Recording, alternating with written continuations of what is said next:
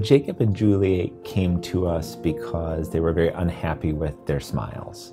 They have a condition which is actually quite common in the population where the teeth did not erupt fully uh, the way that they were supposed to. But essentially, when they smile, um, they're showing a, a, lot more gum. It's, in their opinion, was an aesthetic. Uh, both of them are very involved in acting uh, and uh, love being on the stage. And you can imagine for someone who loves being on the stage, acting in front of people, having a lack of confidence in your smile is kind of a big deal.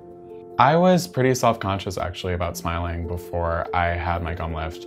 I just always felt like my teeth were the, like the thing on my face where I was like, why, why, why doesn't it look like, why doesn't it look right?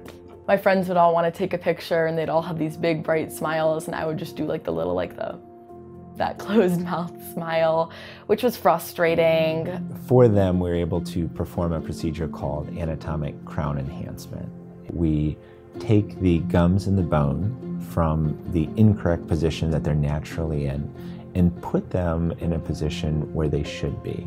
That sets the patient up for long-term health. It also creates a much better looking, much more natural smile.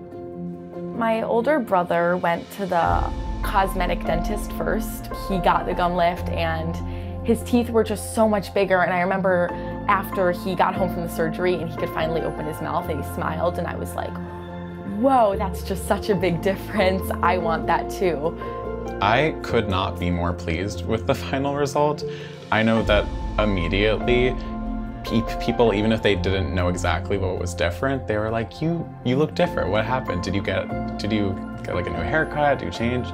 And I immediately felt a new sense of confidence. And I felt like I could just like smile in pictures all the time. I know my director was super happy when I got it done because she was like, that's it. It wasn't that you needed to smile more, it's that your smile needed to be better.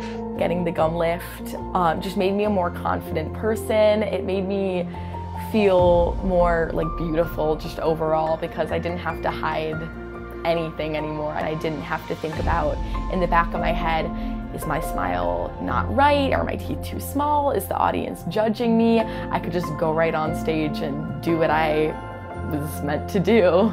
I am so thankful to the whole staff here at Dr. DeGroot's office for giving me the smile I always wanted and helping me the whole way and giving me so much more confidence. I don't know what I would do without them.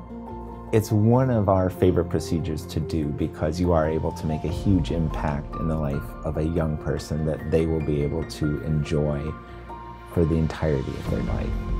And so to be able to do that at a young age when they're sort of finding their way is, is just a, a great gift for us to be able to provide.